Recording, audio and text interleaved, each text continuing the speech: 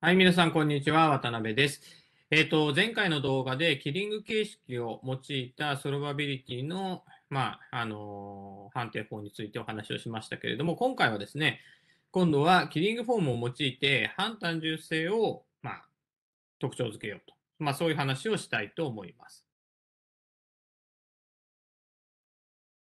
で、まずですね、プロポジション5.11から始めましょう。えー、ゲイをリーアルジェブラとしまして、それに対して以下は同値であるということで、ゲイがセミシンプルであるというのと、まあ、これはですね、0以外に可換イデアルを持たない。まあ、これが同値であるということをまず示したいと思います。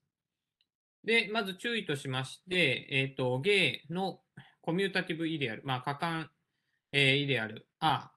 に対して、R っていうのはラッドのゲイに入りますね。ラディカルゲイに入ります。このラッドゲイって何だったかっていうと、これは極大ソルバブルイデアルのことをラッドゲイと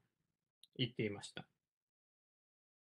で、えっと、まあこれが成り立つわけですね。で、まあ、このことに注意した上で、1ならば2、2ならば1を示しましょう。で、えーゲイが、まず1ならば2ですね。ゲイがセミシンプルだとすると、そそれの定義何だったかっていうと、ラッドゲイが0だっていう話だったので、えーゲイがセミシンプルだったらラッドゲイが0ということで R が0です。つまり、セミシンプルであれば、えー、可換イデアルは0しかないということがわかると。はい。で逆に2ならば1を証明したいんですが、まあ、実際には対偶を見ましょうと。つまり、ラッドゲイが0じゃないとすると、0以外に可換イデアルが存在するということを言えばよいわけです。ということで、ラッドゲイが0じゃないとしますね。で、そうすると、まあ、あの、ラッドゲイ0じゃないので、ですが、ゲイが、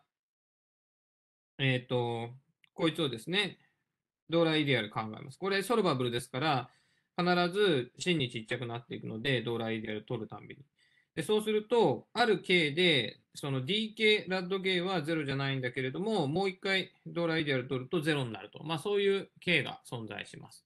でその時 DK ラッドゲイっていうのは、これ自体は0じゃないんだけど、もう一回取ると0になるので、コミュータティブイデアル。0でないコミュータティブイデアルになるというわけで、2ならば1も証明できます。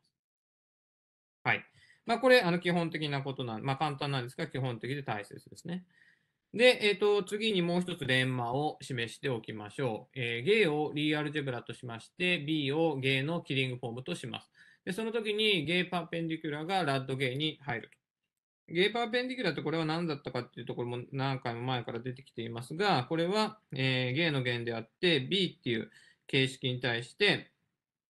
まあ直交していると、まあそういうものですね。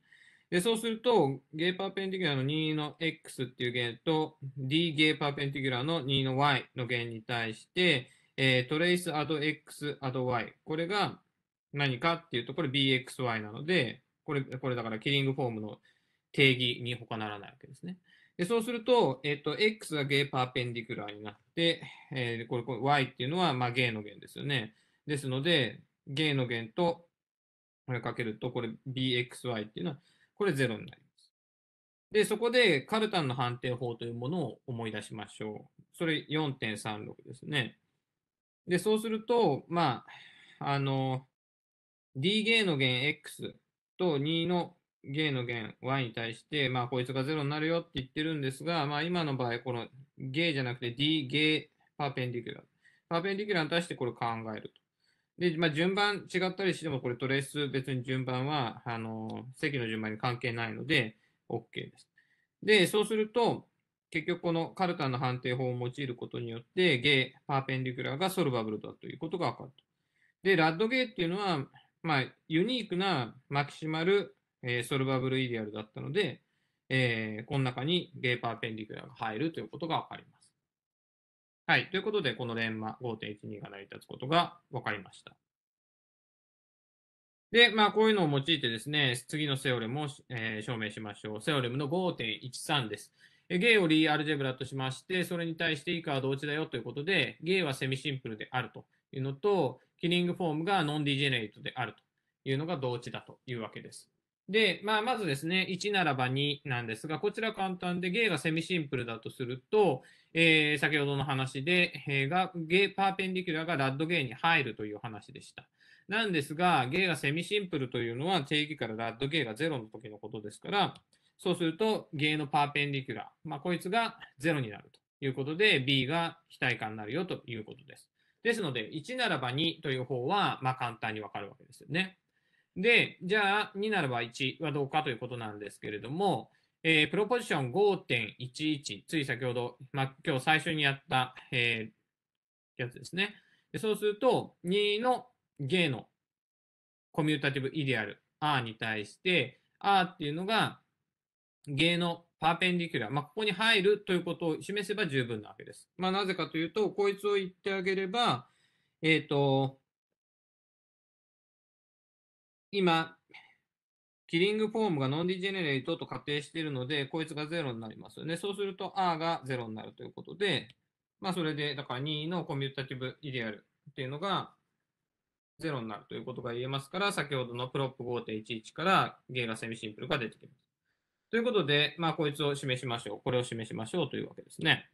でそうすると、R の弦、2の弦 X とゲーの2の弦 Y に対して、アド X、アド Y、これの合成を考えます。そうすると、これゲーからゲーにまず飛んで、その後に、まあ、X が R の弦です。R がイデアルですから、えー、この後は R に入るということで、まあ、この AddX、AddY っていうのを、今度2回考えるわけです。2回考えるとどうなるかっていうと、今度 R と R の格好積取ることになって、D、DR に入りますね。D、でも DR に入ると言っても、えー、R はコミュータティブなので、DR は0です。これ何を言ってるかっていうと、AddX、AddY がべき例だっていうことですね。で、これ先ほども、あと前回のですかね、ちゃんと言ってませんでしたが、いあの途中で使ってますが、べき例行列の固有値は0であって、えー、トレースっていうのは固有値の和なので、結局 bxy、まあこれだからトレースのアド x アド y ですが、これが0になることがわかります。ということは、r がゲーのパーペンディキュラー。まあここに入るということがわかるというわけですね。